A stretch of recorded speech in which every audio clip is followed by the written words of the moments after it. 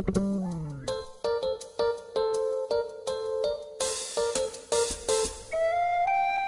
่มเพาะให้พวกเขามีพละกำลัง อันทรหดอดทน มีคุณธรรมอันประเสริฐผุดพอง มีจิตใจอันกว้างใหญ่อิสระเสรี สามารถบรรลุสิ่งใหม่ ๆ ได้ พลังนี้คือพลังที่สามารถแหวกว่ายอยู่ในกระแสใหม่ของโลกได้โดยไม่จม